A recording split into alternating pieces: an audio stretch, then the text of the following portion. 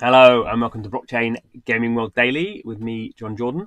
So, looking at today, um, what's going on with um, Hashrush, or looking in a bit more detail about its wallet service. So, Hashrush game's been in development for um, over two years. Yeah, over two years now.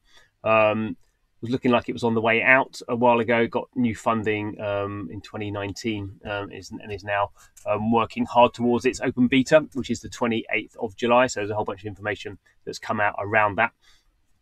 I think this is interesting because it kind of this this kind of to me kind of highlights some of the issues that blockchain games have in terms of dealing with the uh, onboarding and making games easy for people who don't know about blockchains to uh, get involved with and get excited about, but also um, kind of keeping the uh, the, kind of um, features of why you might be using a blockchain um, anyway, which is which is the ability to kind of move assets and value around the system in a decentralized way. So th- those two are, are quite um, uh, for the for the last kind of two years or so, those two things have been in in um, kind of conflict.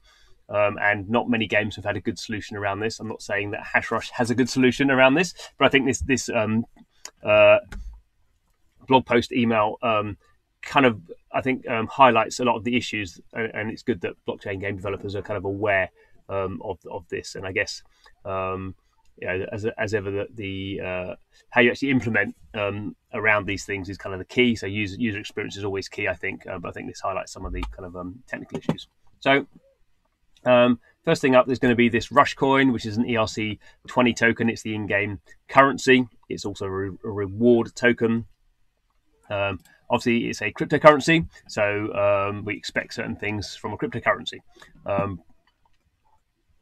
But uh, one of the issues at the moment is um, uh, all transactions make, made on a blockchain cost some of the currency and take some time to complete. Um, that's not always the case. I mean, particularly that is the case for Ethereum, but other blockchains, um, the the transactions don't necessarily individually require um, payment, but for something like EOS or Tron, you need to stake currency in order to get access to the um, to, to, the bandwidth. Um, so uh, anyway, uh, it doesn't, doesn't matter because Rush is an Ethereum token. Um, so uh, so definitely that means at the moment, if you want to move Rush around between tokens and make transactions, you need to pay in Ethereum. Um, the gas prices at the moment uh, are through the roof and not showing any signs of not being through the roof. They're just increasing um, because of the use of DeFi. So at the moment, if you're going to be launching a game on Ethereum using an in-game token, you can't really um, rely on people spending um, dollars, maybe maybe you know one dollar, maybe five dollars, depending on what they're doing, uh, moving around money um, currency. So you can't do that. And also, as they point out, it can take um, a few minutes to several hours. Um, the price of gas goes up, goes up, up or down all the time, um, and it is very complicated. Um, we kind of forget often. I think people in the blockchain game space, the first time you start doing an Ethereum transaction, you're just like, what is going on here? Um, okay, so uh, I definitely agree with this. This is an unacceptable barrier. So what have they done? So they've created um, the Rush network, um, and the key point of this is the Hash Rush wallet service. Okay, that's kind of functional. It tells us what they are um, thinking about. So they're going to be deploying the Hash Rush wallet service um, uh, to be solving some of these problems. So, um, okay, how does it work? So under the hood, it is a, a typical Ethereum wallet and is connected to the game database and the blockchain. This is the important thing. So it's not just a blockchain wallet, it also connects to the game database. Um, so when a player joins the game, they will be given a special game wallet that connects to the Hashrush wallet service, um, which in the way it's set up at the moment can only store Rush. So you can't put any other currency in there. Um, effectively, it is a you know a, a Ethereum-based wallet that can only do one thing. So you can't send your DAI to it. Um, obviously, when a player joins the game, they are being given a special game wallet that connects to the to the effectively the crypto wallet. They're not being given a crypto wallet up front, but they're being given um, a game wallet that connects to a, a crypto wallet. Um, the game wallet is not connected to the blockchain. So if you want to connect to the blockchain, you have to go through this other um, kind of wallet, the Hashrush wallet service. Um, this means uh, when in game, all Rush tan- transactions between game wallets are are essentially regular game transactions. So basically centralized game transactions. So if I'm moving uh, Rush around, um, between my game wallet um, that doesn't touch the blockchain and that can just go through like a centralized um, service like you do doing any other, any other game. That means it's fast. There's no transaction fees. Um, obviously, Um, it means it's not decentralized, which is not kind of one of the it's not what blockchain um, is supposed to be about. But this is a, a kind of a, a in a sense a, a way of dealing with these problems. Uh, but when you're moving around your your Rush with this game wallet, um, the Hashrush wallet service monitors all the transactions and keeps a regular database. So, so the blockchain bit of it looks about what, what's happening off the blockchain, what's happening around centralized, and it can kind of tell what's going on. So, when a player buys or earns Rush, the the blockchain bit, the Hashrush wallet service will mint the Rush coins and store it in the main Hashrush wallet and rec- and do the kind of recording of, of what's going on there. So, so this is the blockchain bit, and, and it is um, doing the minting and and keeping records um, of what's going on. When player wants to withdraw their Rush from the game to their own private wallet, so I've got Rush in the game in my game wallet, and I want to take it out to my say MetaMask or my um, whatever Ethereum uh, wallet I am using. Um, the the Hash Rush wallet service will verify the amount of Rush I've got within the centralized server. Um, and then if all flags are green, if everything um, looks right, it will do the blockchain transaction um, and it will move the rush from the game wallet to the private wallet. Um, and that will obviously involve a transaction that presumably the player will be paying the gas fee on. Um, oh no, okay, so here we go. So as it's their wallet, they're going to let the players transfer a rush from their game wallet to the private wallet without paying the gas fee. Um, so pres- presumably the developer is paying the gas fee because they are going to be hitting the Ethereum blockchain. I would imagine that's the case. Um, uh, as we're making sure the system is secure and works properly for the first two weeks or, or, something similar, players will not be able to withdraw Rush, only deposit it from their private wallets into the game. So basically, to start off with, to make sure it's, it's working properly, there's no bugs, um, you can't you can't take stuff out. Um, that obviously makes sense because um, uh, something like this, um, you're, you're kind of adding complexity because you're not storing everything in blockchain wallets to begin with. Um, so if someone works out a way of kind of mining this rush from within the game and generating tons of it, and then immediately pulls it out to their private wallet and then cashes it out for for for, um, for dollars or Bitcoin or something, um, you don't want to do that because it will make the uh, developer go bankrupt and crash the price of Rush. So um, so there's obviously going to be a, a, a, kind of testing kind of system here. Um, okay, so this, now it's going to get a bit more complicated. um, so players will be able to buy Rush uh, from the developer as a limited time, um, but eventually um, Rush will be an open ecosystem. Presumably, players will be selling it to each other. You won't be able to get it off the developer. Um, but to provide players with an easy to understand experience, they've created an intermediate currency, um, not a blockchain, called the Herminian credits. No idea why they call it that. Something to do with the game lore, I suppose. Okay, so you can buy the Herminian, Herminium credits directly from the developer website or in game. And then once you have uh, those credits, you'll be able to use that because it's intermediate intermediate currency to then buy rush. This uh, the Herminian currents are built into the Hashrush wallet service. Um, so that's just kind of part of the centralized server. It's not a cryptocurrency.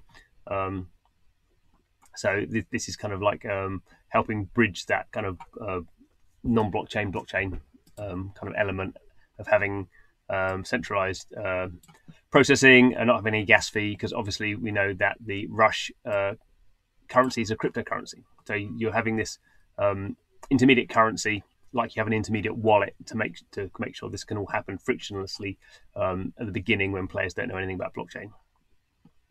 Um, so this is just going through about um, uh, taking your rush out. Uh, so this is just going through the process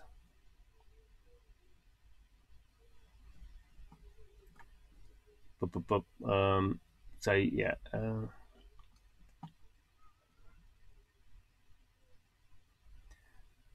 okay, so it's saying here that the if you're if you're withdrawing your Rush from your hash rush wallet to your external wallet, um, the developer will cover the ETH transaction cost, which is a bit brave because that's expensive at the moment.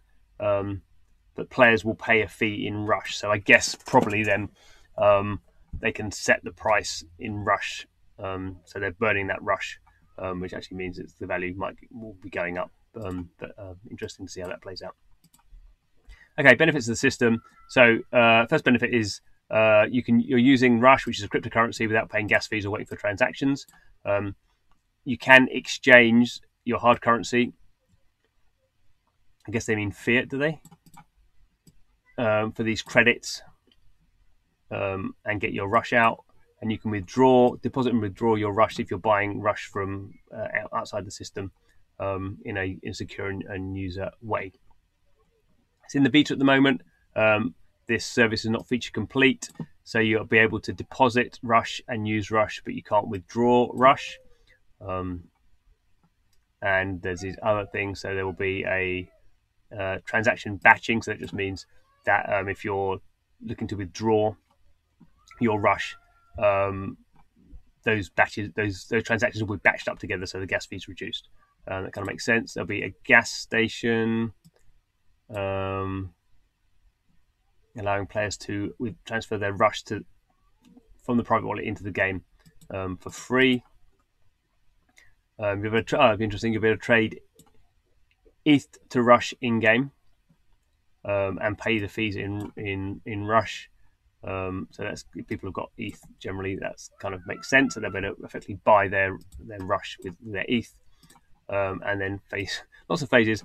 Uh, phase one point five, um, you'll be able to go the other way from Rush to ETH, um, and then phase six, which is I imagine talking months um, you'll see a P2P, P2P marketplace. So you're able to sell and uh, you're able to trade your in-game items for Rush. So the whole point is Rush is the in-game currency, um, and and over time um, it will become a, a, you know it will become a open cryptocurrency. Um, uh, but at the beginning, particularly, there's going to be these kind of uh, kind of restrictions involved.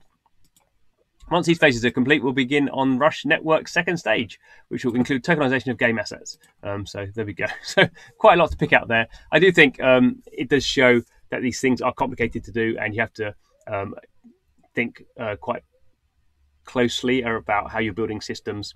Uh, and almost this is like scaffolding, particularly because it's in a beta game as well. So they're building these kind of this more complicated system, these these, intermediary tokens, um, because they need to one work out technically that the system is working and secure, and two, they also have to think about then how how players are going to start um, when they start creating value, when they start getting this rush token in the game. What do they start doing with it? Obviously, what you want is you want people to the majority of that rush to stay within the system and be used for buying um, things in the system.